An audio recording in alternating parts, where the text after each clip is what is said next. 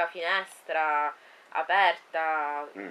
per quanto riguarda un po' il PDL, insomma anche con interventi che sono insomma sempre di un 4-5 persone che comunque sono Sì. attivamente coinvolte con questa attività facebookiana Sì, su questo gruppo del Cefalù, non mi ricordo come si chiama, Cefalù, Sgarbi, sindaco di Cefalù, una cosa del genere. allora questo innanzitutto non Ecco. è un gruppo del PDL, questo è un gruppo Vabbè, comunque, insomma... dove eh, scrivono molte persone. Io scrivo, se voi andate a vedere, io per esempio non scrivo. Sì, Non diciamo che comunque ha quel eh, taglio lì, insomma, è è Diciamo che c'è inevitabile gente- pensarci, diciamo sono che- comunque diciamo- dei rappresentanti... No, non esiste, non del- ci sono rappresentanti del PDL, ci sono persone che fanno attivismo politico nel PDL, ma non sono rappresentanti del PDL. Bisogna tentare sempre di eh, distinguere le cose. Tra l'altro io ho visto, perché seguo anche come te questo gruppo, eh, anche perché eh, sono incuriosito eh, diciamo, su questa domanda che è stata posta a titolo eh, di questo gruppo, anche mh, perché? Perché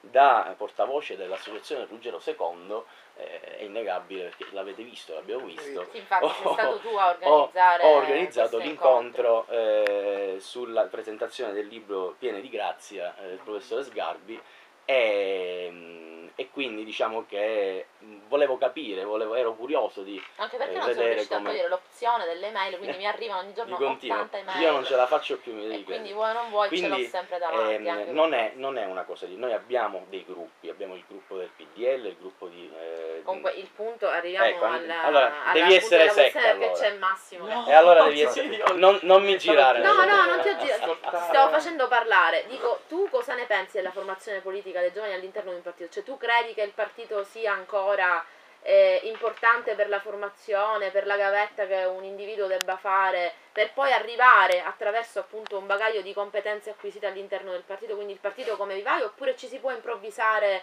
eh, uomini, fra virgolette, politici? In Italia non abbiamo più bisogno di avventurieri.